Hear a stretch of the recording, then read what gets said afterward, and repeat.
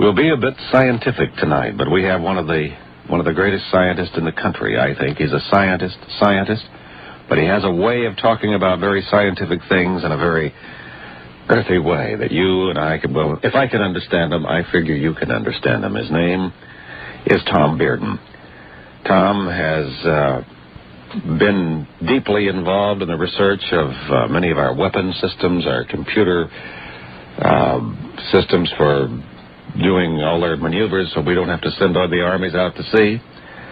He knows exactly what's going on in the world of science. Tom, welcome aboard. What's happening with the weather? Is it being manipulated? Is it being controlled? Or is this uh, nature doing its thing all by itself? Well, in my opinion, it's being strongly influenced uh, by uh, outside devices and outside means, uh, particularly the weather over North America itself. Let's get into that because it's affected a lot of people. Lives have been lost here in the United States of America. Okay, let me, uh, to get into the thing and exactly how it's being done, and, and before I get through tonight, I want to give the audience some things they can look for in the sky and uh, see. I will give them some very specific uh, signatures uh, that they can see for themselves when this is being done. And if you see these particular signatures in the sky, you can rest assured you're looking at weather engineering. Okay, to start with, I'm going to have to give you just a little preparation so that you understand in, in a way what's being done and how it can be done. So let me start out with a, the very basic thing of what a scalar wave is. If you take two ordinary waves and you put them together 180 degrees out from each other, what you can result from that, what you can have when you get through with that, you can have a wave or a pulse in space-time itself. What you do is you squeeze space-time just like you'd squeeze a sponge rhythmically.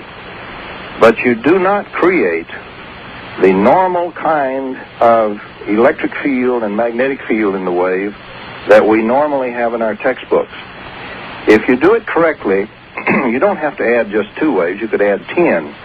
The thing is, as long as the vectors sum to zero, uh, very precisely, you have created a zero vector wave, and that makes it a scalar wave. Now, vector for wave, simple purposes, uh, for simple purposes, just look at it as if you were rhythmically squeezing a sponge and unsqueezing it. And what you're doing that to is space-time itself with this kind of wave. That's what it does. Now, that is really the original way that Tesla discovered uh, back uh, shortly before the turn of the century in his Colorado experiments. Mm-hmm. Now, this kind of a wave can be easily made in the laboratory, and it can be proven to exist, and you can use it. But I want to tell you a couple of things you can do with it. If I take uh, something like a pencil beam radar, something that transmits a very narrow beam, uh, and if I cross two of these beams, this kind of a wave can be used to do some things like influence the weather over an entire hemisphere. Okay, the way you would do this is as follows. Suppose I had two or more transmitters which were producing beams of the scalar wave energy I'm talking about, which the beams cross over North America. They all converge and cross over uh, the United States and uh, Canada. Okay, in the interference zone, you would see what looks like a, a standard wave interference pattern. You would see rows of waves crossing other rows of waves.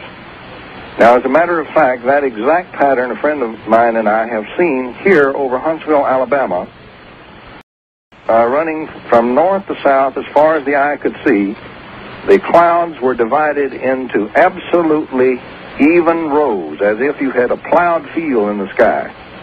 And if you turned at right angles and looked in the other direction, from horizon to horizon, you had another series of what looked like absolutely even cloud rows. I have a series of photographs of that cloud structure over Los Angeles of last week. Good. Now, that's the formation of the thing. Now, this particular phase of the weather uh, intervention over North America started, they started adjusting this stuff in shortly before the death of Brezhnev. Now, the signatures of adjusting it in are as follows. What you will get when you're starting to deposit and pop out energy here and there all over, at certain nodal points where you get pretty good pop out, dump of energy, you will get low level atmospheric booms. Not the big booms, but the low level little micro booms. And you had those going in uh, Alabama, you had them going uh, down in Florida and off the coast of Florida, and at various spots throughout the country you had these things going. And reported in various articles in the paper. That's what it was. You were having dumps, sudden little cracks or dumps of energy into the atmosphere which are making these popping sounds.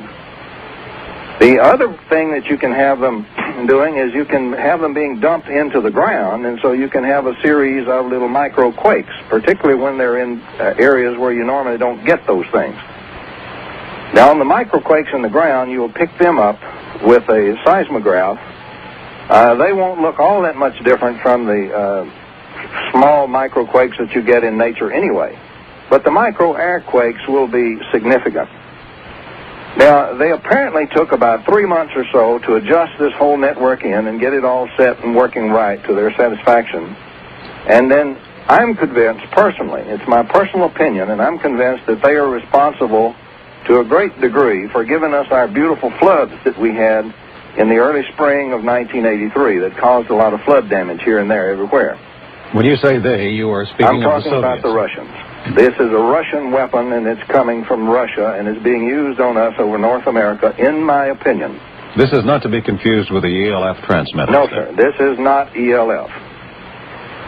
Now, understand, if you want to disguise the thing, you can put a little ELF in it, ordinary stuff that you can pick up, and you'll think you're looking at the Russian woodpecker, and you won't know about the other stuff. Now, it turns out that water vapor or water in the air, which is not really vapor, it's in droplet form, uh, where they tell us it forms around a little particle of dust. You have a water drop, and if you're high enough in the atmosphere, of course, it freezes. You have a little, a little particle of ice around the dust drop.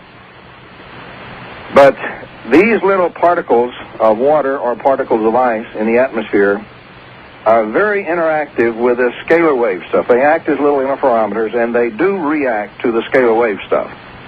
And so the water itself in the air, in the form of clouds, does move and form patterns when very strong uh, scalar wave engineering is being done, or energy of this nature is being created in that region, when you have the interference pattern.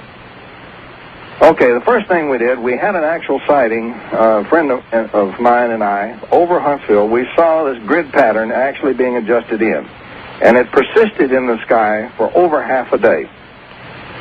Now, that's a peg point for number one. Fit, that fit very well in the time frame with the, uh, after the spring floods and all, getting ready for adjustment in the winter weather. Okay.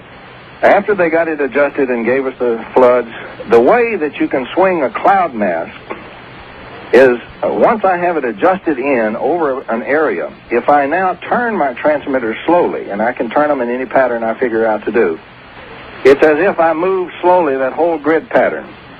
I can, and with phasing, I can make parts of it move.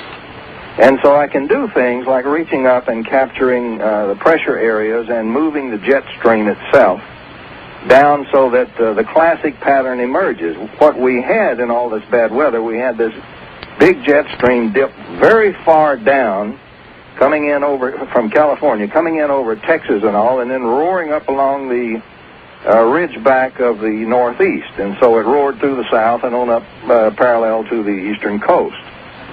And we had storm after storm after storm roar through with that pattern along the bent and deviated jet streams of the upper atmosphere.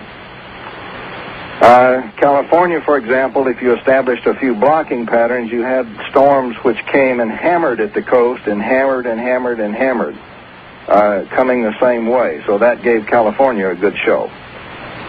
Now, another pattern that you will find forming, and let's see, I'll have to give you a, a, a visualization here to get a hold of what I'm talking about.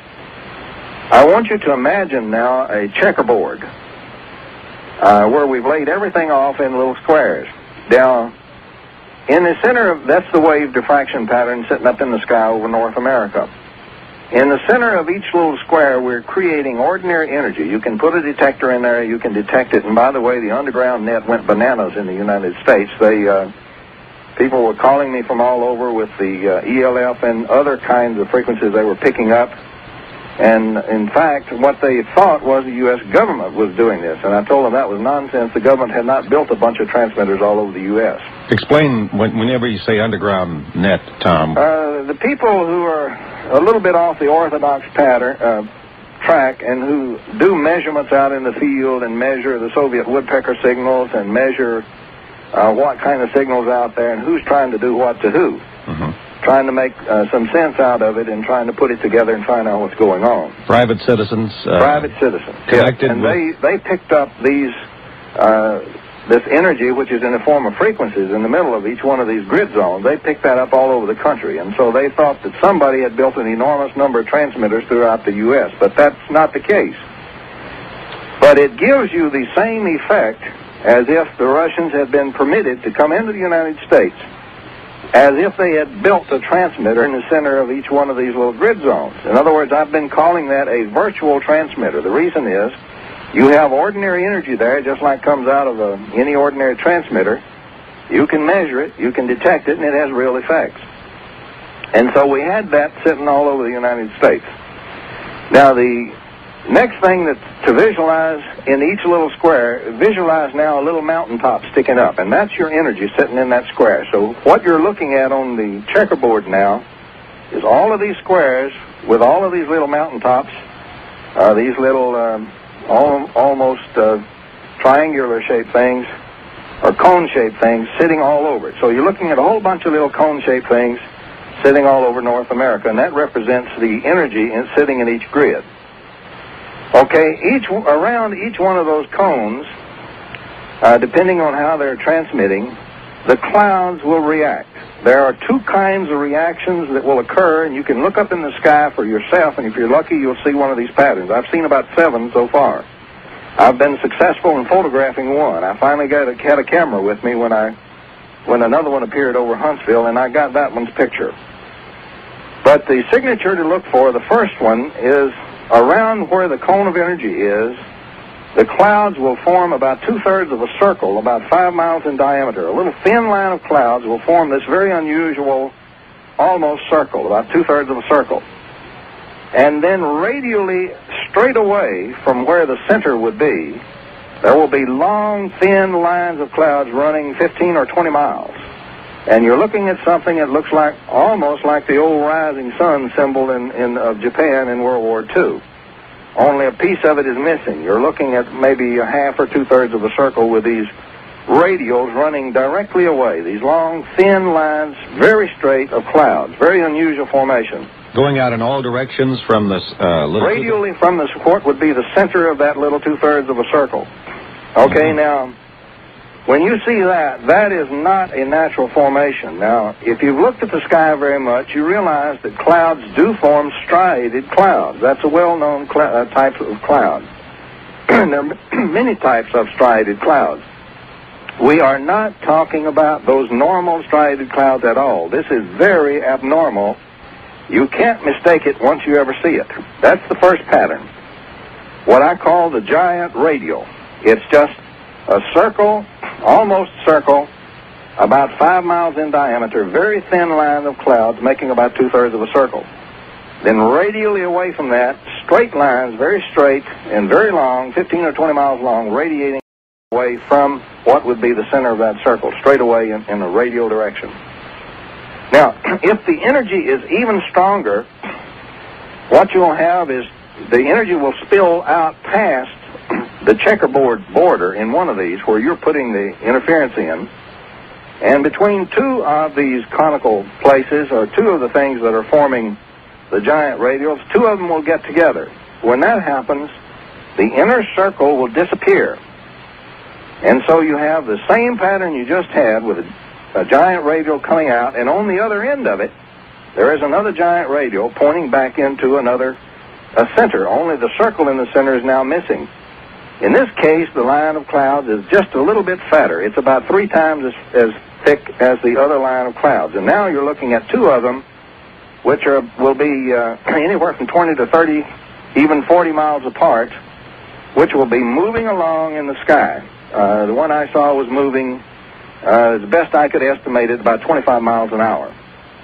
And what you're looking at is you're looking at a part of the grid where the energy is being formed, and you're looking at a very, very slow rotation of this occurring by uh, movements on the transmitters coming from Russia. And what we're doing with that is we're capturing entire cloud masses and moving them right along to control the weather. And we're, of course, uh, uh, changing the pressure in the air, and we can do weather engineering that way.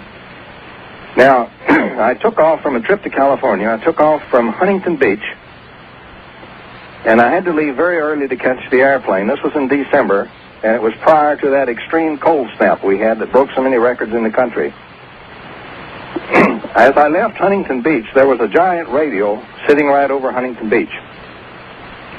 As I got on the airplane then, finally, and came on out to uh, coming into Memphis, when I was about 400 miles from Memphis on a United flight, Uh, at sitting up at about 30,000 feet was an absolutely flawlessly perfect giant radial. I flew right over it. I, we were up at about 35,000.